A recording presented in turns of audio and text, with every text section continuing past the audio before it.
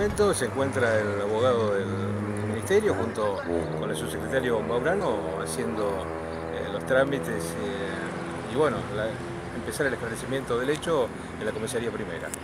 Eso es en este momento, bueno, lo que tengo que informar y viendo a ver si en este incendio, bueno, qué papeles en definitiva se han quemado y qué es lo que puede llegar a tener. Aparentemente no hay muchas pérdidas materiales, sacando la computadora que que no aparece.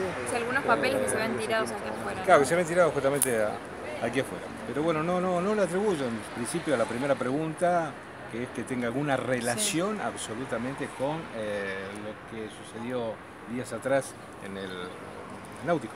¿Se perdió mucha documentación en este sentido? No la vemos, la estamos eh, evaluando justamente con algo. O sea, la documentación principal del ministerio está ahí con alarma y todo bajo el edificio del cuerpo principal. ¿Ahora este edificio tiene alarma? Este edificio tiene alarma, pero no sé si está funcionando en este momento. este edificio es un anexo em, de, trabajo, diría, de guarda de documental. No se sabe por dónde ingresaron. No, no, no, no, no. Una, eso lo determinará la, la pericia. Por algún lado, de, la puerta principal han ingresado, por todo el resto está con, con, rejas.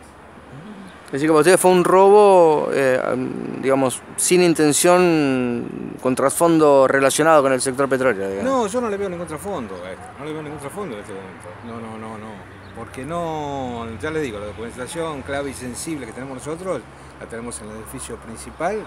Y bueno, responsables cada uno de las subsecretarías eh, y del propio ministro también, la secretaría privada del ministro. Ahí no tenemos absolutamente nada.